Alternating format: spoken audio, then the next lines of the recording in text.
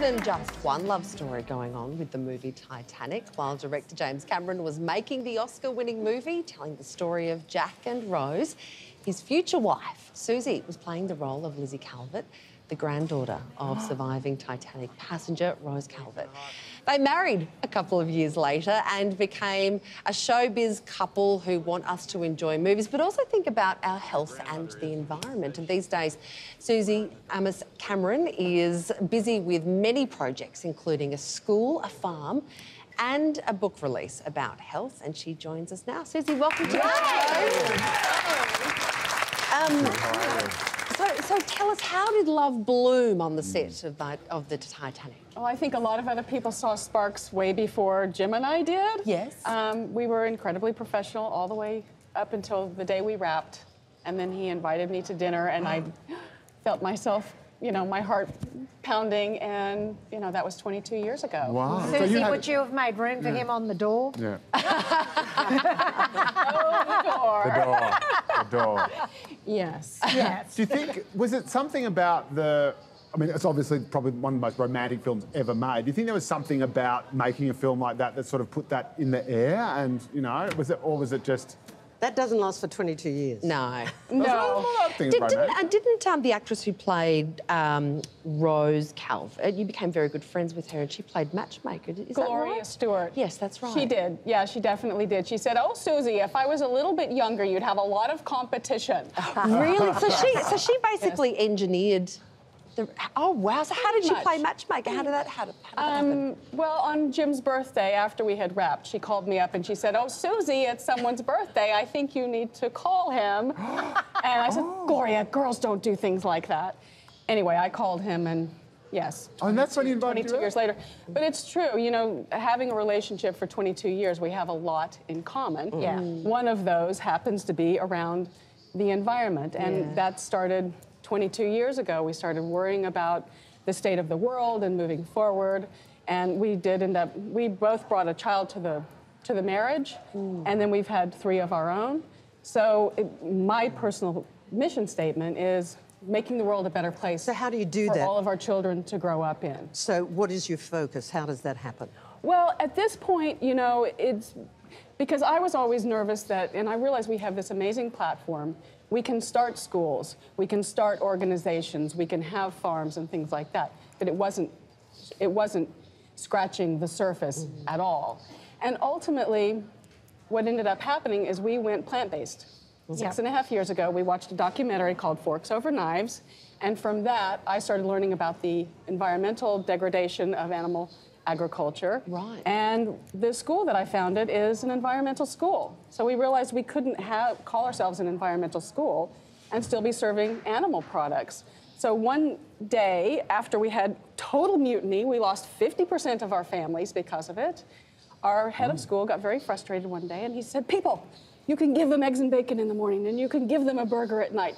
It's one meal a day. It's OMD. So the idea behind the book that I wrote is just changing only one meal a day mm. to a plant based meal.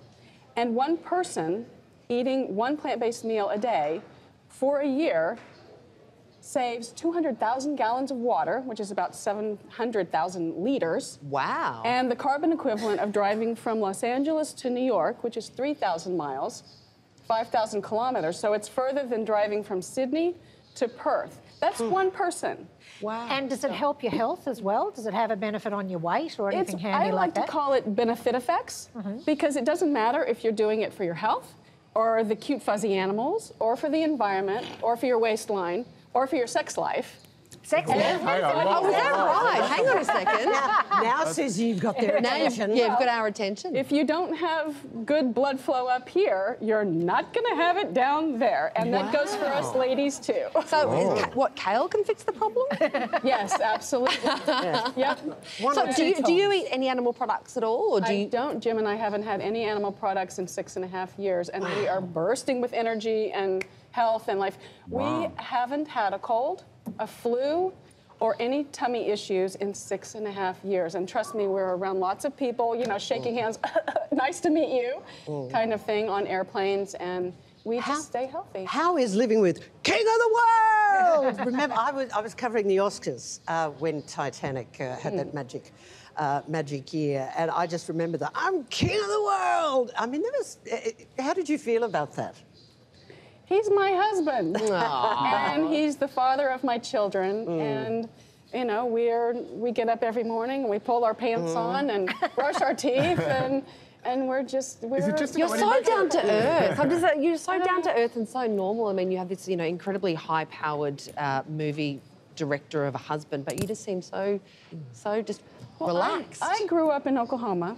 Jim grew up in a very small town in Canada. Right. And those are the values that we have kept together. That's what another thing we have in common. Mm. And we care about the environment, we care about our children, and, And you spent a lot of time in our part of the world because, of course, James built his um, big submarine that went down to the, the, the deepest part of it. He built that secretly up Right the road, up the road That's from right. here.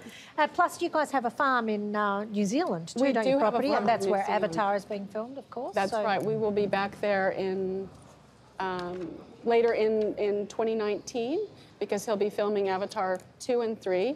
Um, but we ended up buying that farm. Our whole world changed when we went plant based and we started investing in farms, plant based proteins. We have um, we have a processing plant up in Saskatchewan, so we're making plant proteins and OMD food products that will be launching in Canada, certainly in early 19. And actually, I met a couple of people last night uh, talking to about launching the food products here. And you obviously love the land, and James, of course, is obsessed with the ocean, or Jim, as you call it. Um, do you ever? Have you been down in his um, deep sea subs? at You all? know, I've never been in a sub. Well, Yeah. I, I wouldn't want to do it. Yeah, because I'd be scared that. to. I was in uh, like a little tourist sub that we took a Christmas picture in one time.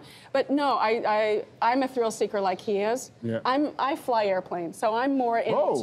you know, kind of going into the air. But I scuba dive Right. and I snorkel and does as And does do the you rest worry? Because I've, I've read for years about him going down, I- I- and that terrifies me. Do you worry when he goes and does these super crazy deep sea dives that are going to places that no one's ever gone before? Just a little. Yeah. But I also am excited for him because it's something that he absolutely loves. But he's out in the world talking about ocean preservation, mm. and he says very clearly now if you want to save the oceans, number one, don't eat the fish. And number two, start on land oh. because animal agriculture is the leading, the second leading cause of climate change and greenhouse gases, more than all transportation combined. So every car, every airplane, everything. So you can make more of a difference in the environment by what you're putting on your plate than one kind of car you're driving. But the dead zones in the ocean, Yeah. ocean acidification, Yeah. you can connect the dots the directly land, back yeah. to animal activity. There really has been a seismic shift, hasn't there, um, in terms of um, climate and uh, protecting th- the planet. Yes. There's also been a huge shift in Hollywood, particularly in the last 12 months, with the Me Too movement. Harvey Weinstein, the disgraced producer, who's facing an array of charges um, for his uh, alleged dealings with actresses. Your husband works in the movie world. Did you get close to any of this or see any of this happening? Do you have any uh, any any any any Come on, comments Suzy, to make? we want to know what happened before because you were an actress To in one of the yeah. biggest I was, movies I in the world. I was acting for, you know, around 16 years, and certainly it was around, I was a model before that, so I hmm. saw it.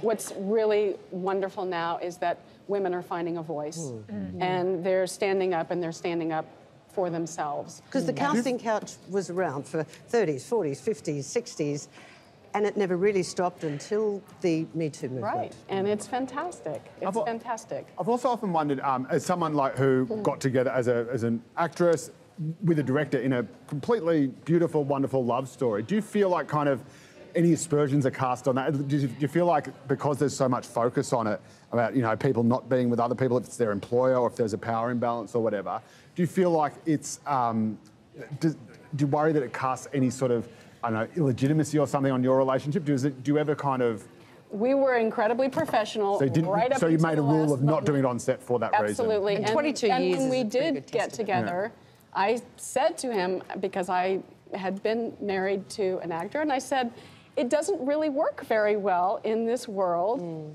if both of us are in the business. So some of, one of us is going to have to quit working. Something tells me it's not going to be you. And oh, by the way, I want to have a bunch of kids, which led me to start Muse School." Right. which you know sent us down the path of gardening and education, and then the environment and plant-based eating. And and Muse is the first So it was all very plant-based school in the world. do that. 22 years is certainly a testament to the trueness of your love. Uh, Suzy's book is called OMD Changing the World by One Meal a Day.